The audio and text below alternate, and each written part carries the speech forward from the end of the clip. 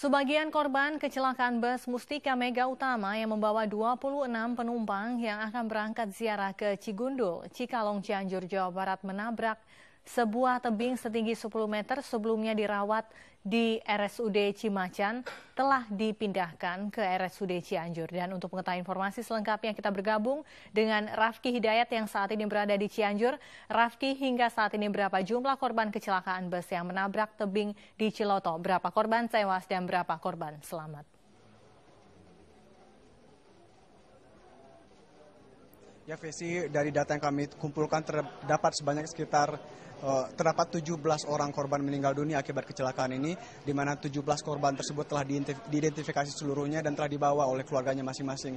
Selain itu, sebanyak 11 korban luka ringan yang semula dirawat di rumah sakit Cimacan juga telah uh, kembali pulang ke rumahnya di kawasan Cikemang. Dan tempat saya berada saat ini yaitu di Rumah Sakit Umum Daerah Cianjur, semula terdapat sekitar 28 korban luka berat, di mana luka berat ini didefinisikan sebagai uh, korban luka patah tulang, kemudian ada juga luka benturan di kepala.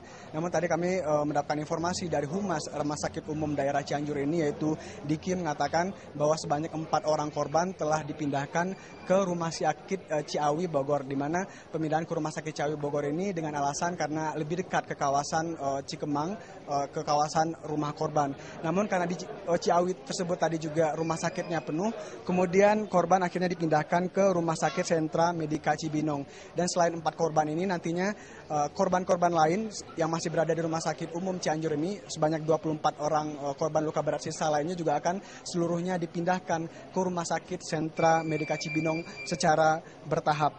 Dan banyak pihak yang bertanya-tanya bagaimana uh, keadaan supir, di mana supir. Tadi kami mendapatkan konfirmasi dari Kapolres Cianjur AKBP Agustri yang mengatakan bahwa supir dari bus Mustika Mega Utama ini juga dirawat di sini, namun belum bisa mendapatkan, belum bisa dimintai keterangan begitu.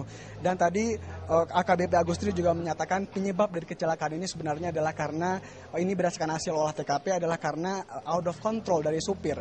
Ada beberapa penyebabnya. Menurut Agustri yang pertama adalah karena ketika pukul 11.30 tadi kabut tebal dan tadi kami ketika uh, sore hari menuju ke sini juga kabut tebal menyelimuti kawasan um, Ciloto di sana tadi dan selain itu posisinya adalah jalan menurun dan banyak dan karena uh, ada tebing dan juga ada jalan yang berlubang sehingga supir dinilai oleh uh, pihak kepolisian membanting setir begitu.